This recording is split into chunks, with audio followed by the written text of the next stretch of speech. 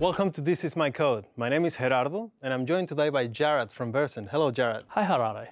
Can you tell me a little bit about what Versent does and what you do at Versent? So Versent is AWS Premier Partner. We work primarily with Tier 1 enterprise customers in Australia, transforming those workloads into the cloud. Um, so can you tell me a little bit about what you do around monitoring?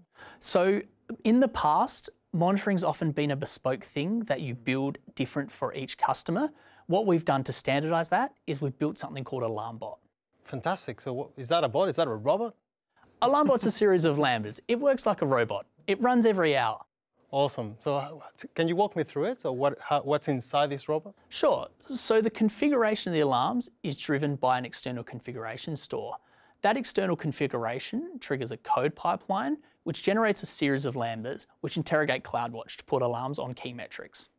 Fantastic. So you're basically automating the creation of the metrics for each particular customer subject to what their infrastructure looks like. Is that right? Yeah, so we have defaults in the configuration store, and then we can define whatever the customer wants. Whatever's in CloudWatch, we can alert on.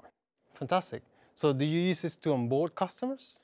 So we will deploy it in a customer's account on day one so that when they're migrating their um, workload into the cloud, alarms are being put on that workload straight away.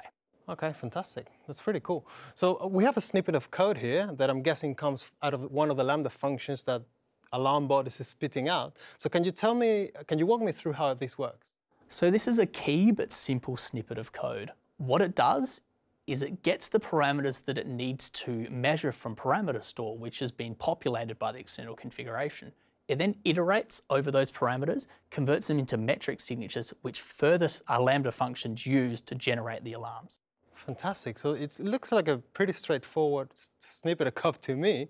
So what, what makes it so simple? So what makes it simple is the AWS SDK. Mm -hmm. We use Boto3 because it's Python, and it allows us to query SSM with one line.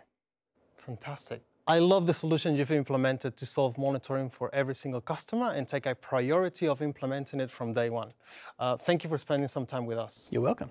And thank you for joining us. See you next time in This Is My Code.